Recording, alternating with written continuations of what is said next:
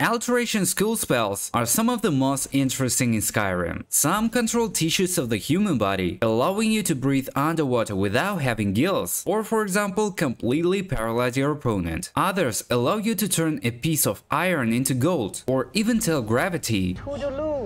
If you're looking for a quick way to master this school of magic, then you have found the right video. Pour yourself some good Nord mead and make yourself comfortable. In this video, you will learn two secrets that will help you to level up Alteration to 100 in just 3 seconds. And don't forget to subscribe to get more cool Skyrim and Fallout videos. I make them almost every day. First, we need to get a spell that will allow us to level up Alteration as quickly as possible. At the first levels, this spell can only be obtained in one place. In the vicinity of Riften, you can come across a ruined hut. It is guarded by two tough guys. You can leave them be or roast their asses. Then we go down and ask the thug to let us in. This place is full of strange people, and I think you understand that this is a drug den. This place serves a special Redwater skooma. You can even get it for free if you want. We find a cozy corner and try the skooma.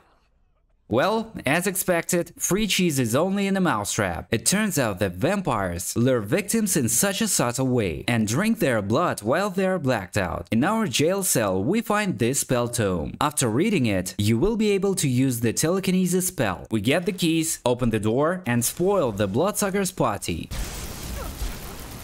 When you get to the surface, you can immediately start leveling up alteration by playing basketball or basket bucket? But we are not done yet. To get 100 alteration in 3 seconds, you need one more thing, and to get it, we head to Windhelm. Here we need to get to the port and find Gjalund Salt-Sage. Captain, Captain. I'm sorry, Captain Gjalund Salt-Sage. We pay him 250 gold, and he takes us to Solstheim. Upon arrival at Raven Rock, we head to this place. A strange elf is excavating here. We need to help him financially. Money! And then in a few days he will send a messenger. To speed up the process, you can wait in the Retching Netch Tavern for 3 days using the Wait Rewind hack, if you're playing on PC of course.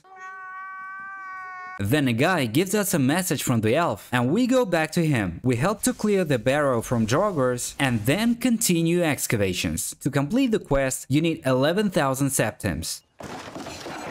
To make such an amount of money the fastest way possible, use a method described in this video. At the end of the barrow, we find the black book, filament and filigree and read it. Further, you don't have to fight. You can just run to the end of the location and activate the book. We need to pick the Secret of Arcana. It will allow us to cast any spell for 30 seconds and not waste our magicka. Next we go to Skyrim. As you can see, I have 22nd level of alteration. So we find any item, activate the Secret of Arcana Arcana and use the telekinesis spell. As you can see, magic is not spent, but the effect lasts only for 30 seconds. We open the map and select the most distant location and move there.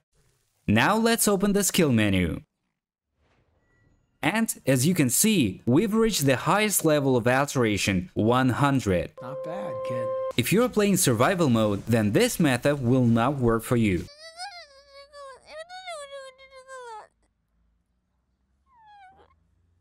But you can use another one. Pick a Mage Guardian Stone, get a good sleep, and get the effect of Fortify Magicka plus 100. In this video, I have explained how to get this effect. Next, we go to Hob's Fall Cave, and at the end of the location, we find a chest with a bunch of new spell tomes from the Anniversary Edition. We need to paralyze this rune spell. Next, we find the enemy and just make him cry gonna cry? These were the fastest ways to level up Alteration in Skyrim. Subscribe to the channel. If you enjoyed the guide, then you should definitely watch this video about getting 100 destruction in just a few seconds. It was Apenych, see you next time!